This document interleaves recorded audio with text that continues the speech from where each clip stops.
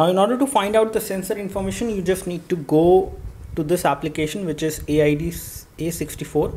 You can find it in the App Store. We have already told you that these devices have got different sensors inside. So let me show the photo clarity which we have got when we took the photos in same light conditions at the same resolution from these two devices and you can take a look whether they look any different. As per us, they both look very identical and there is very minimal amount of difference in between the photos which we have captured from these two devices which have got different sensor inside. So let me zoom into this and zoom in here as well.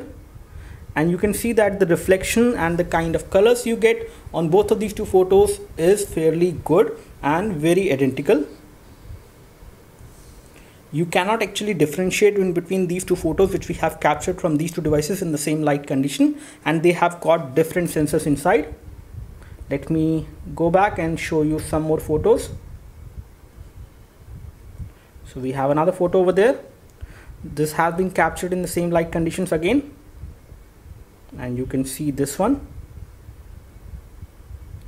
Over here if you can notice details are slightly better over here on this one compared to what you see here.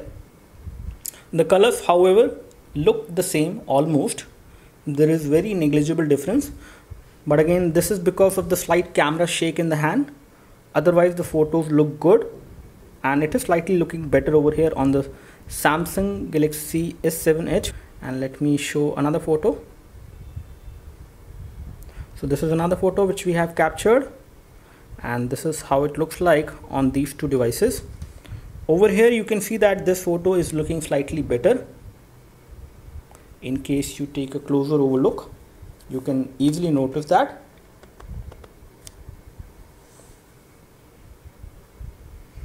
But again in this one as well the amount of details captured for the photo is good on both of them.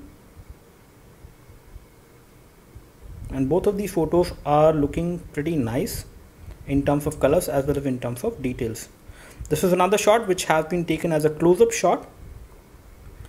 And you can see that yet again they are very similar. Not much difference here. You can see fine amount of details on both of these photos and colors are also nicely reproduced on both of them.